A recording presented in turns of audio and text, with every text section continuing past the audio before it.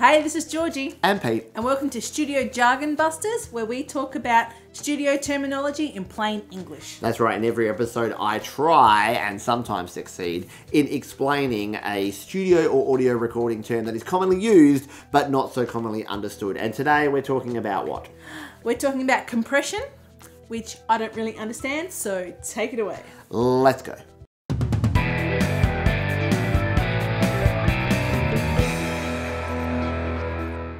So, when you think of compression in the digital world, what comes to mind? Uh, making things smaller. Yes, exactly. And in audio terms, it's kind of the same, except that it's a little bit different. Did I say the same and different at the same time? Yeah. So if you think of compression, you're probably thinking of a zip file or a RAR or an ARG or a, some sort of compression of a file. Yeah. So Yes, you are making. I think of a large. a RARG. You're taking a large file, say you've got a 10 megabyte Excel spreadsheet, and you turn it into a 5 what are megabyte. you doing the t- 10 megabyte spreadsheet? I love my spreadsheets. Seriously, spreadsheets are the best. Anyway, not relevant. So it's file compression is one thing. Audio compression is completely different. So audio compression is turning down the volume. So if you think of audio, you think of singing a song. So in a song you might have a really loud part and then you have the quiet part. So if you've got a, like a rock ballad, you're like, I've got my arms around you and then you broke my heart. So the arms around you bit Thanks, Jon Bon. is not good.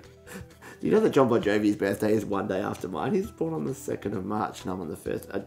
Yeah, anyway. Um, so if you have that loud bit and then the quiet bit, well, what compression does is it actually brings the loudness down. It compresses the peaks of your audio so that you have a nice low signal. So it doesn't actually compress the entire content, it just brings the loudness down. Exactly. So it doesn't do anything to the file. It doesn't do anything to the content. All it's doing in a compressor is it's actually bringing it down. And there's a whole bunch of settings that you can set in a compressor, which we won't have time to get into here today. But there's things like the ratio, the attack, the release, which if you want to know I all mean, about now those, you're going into terminology. Exactly. And if you want to know all about those, you can check out all the videos that I have on studiolivetoday.com. Sorry, I have to throw in a promo every now and then for all of my other videos. Um, Yes, I've hijacked this one. yeah, yeah, yeah. So compression brings the volume down. You might be thinking, well, how is that good? Because if you've got a loud bit and a soft bit, why would you want everything to come down to the softest level? You level? kind of have to.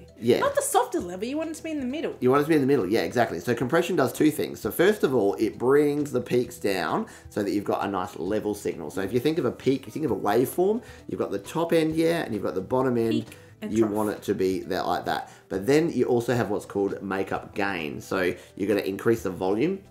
Gain equals volume. Okay. I don't know why we call it gain and volume. They're pretty much the same thing. So we're going to make up the volume. So what we're going to do is we're going to take our high level stuff, we're going to bring it down, and then we're going to pull everything up so that we've got like a nice flat signal so that our quiet bits come up, our loud bits come down, and everything sits at the right volume. That's really interesting. I never knew that. Yeah, so that that's compression, and it's probably the most misunderstood audio recording term, but it's actually quite not simple, but it's more commonly used, and you use compression on vocals in particular, like the Jon Bon example I gave with my power ballad.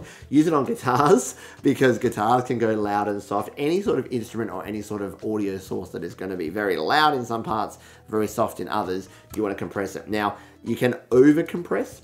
So over compressing means that you basically push everything so loud that it all sounds the same and you get no what we call uh, dynamic range, which means that you do actually want, if you've got a nice ballad, you don't want the soft bits to be actually screaming out as loud as the really That loud bits. be good. That would not be good. So you want to be able to hear them. You want to be able to bring it up high enough that you can actually hear what's being sung, sang. I never know which one to say, sung or sang. Some, But same, some. yeah, but you don't want them to be overpowering and to be like ridiculously loud. So you don't want to over compress, but you want to bring, you want to use a compressor. And if you're in your digital audio workstation, if you're in your software, you can add a compressor using a plugin. And when you put that compressor plugin so on there, much terminology. yeah, if you put your plug-in on your DAW, your digital audio workstation, then you've got your compressor, and then you can actually level out that volume. So you can adjust the volume, you can make sure that you bring everything up to the right level, and then when you're doing your mix, of your song, then Right, you can allow a mix. you allow mix. You can mix your song. You know what mixing is? You know, bake a cake. I know mm. how to bake. In the kitchen. Bake a cake. So we're going to. so that that is what compression is all about. That is probably the most layperson term of compression that I've ever mentioned. And, and there's like 101 things that you can talk about compression, but that's the basics. Does- that make sense? Do you have any questions? It actually no. compression? I actually think that that was a very good. Um, what's the word? Explanation? Yes. Amazing Ex- explanation? No, I wouldn't it's say amazing. just, just Adequate? fine. Sufficient. Sufficient explanation of what compression is. Uh, so join us next time where we talk about something else. something else, some other term that I'm going to throw at you randomly off the cuff. And if you have other terms that you would like for us to bust, Oh, other yeah. jargon, then let us know in the comments down below. And of course, check out studio live studiolivetoday.com for more tips, tricks, and tutorials. And until next time, See you later. bye now. Thanks for watching Studio Jargon Busters. To find out when new episodes drop, hit the subscribe button. To watch another episode right now, click or tap on the icon on the left, and for more recording tips, tricks, and tutorials, click or tap on the right.